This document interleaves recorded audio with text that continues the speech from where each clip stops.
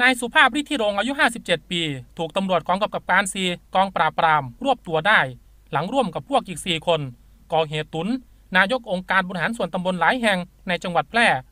พันตำรวจเอกครเดชพิมลศรีรักษาราชการแทน ผู้บังคับการกองปราบปรามกล่าวว่า ผู้ต้องหากลุ่มนี้อ้างตัวว่าเป็นเจ้าหน้าที่ของสำนักงบประมาณ ซึ่งสามารถจัดสรรงบประมาณ ให้กับองค์กรปกครองส่วนท้องถิ่นได้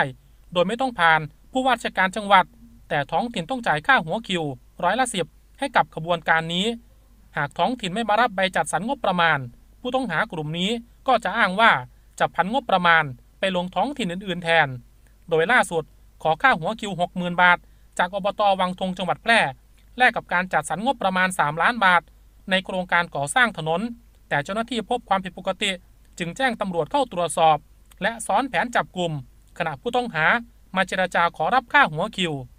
สอบสวนในสุภาพให้การรับสารภาพตลอดข้อกล่าวหา ส่วนนายนวัศพลอมาชยกุล ให้การปฏิเสธตำรวจจึงไม่ควบคุมตัวมาแถลงข่าว ขณะที่ผู้ต้องหาอีกสองราย ที่ร่วมก่อเหตุตำรวจภูธรจังหวัดแพร่จับกลุ่มตัวได้แล้วก่อนหน้านี้